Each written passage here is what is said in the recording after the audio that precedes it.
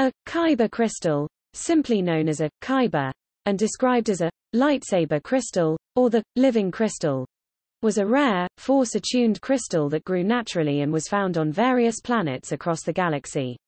Known in ancient times as a Kaiburr crystal, it was used by both the Jedi and the Sith in the construction of their lightsabers.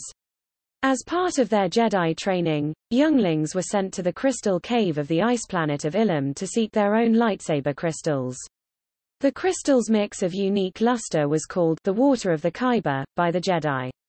There were also larger, rarer crystals of great power and that, according to legends, were used at the heart of ancient superweapons by the Sith.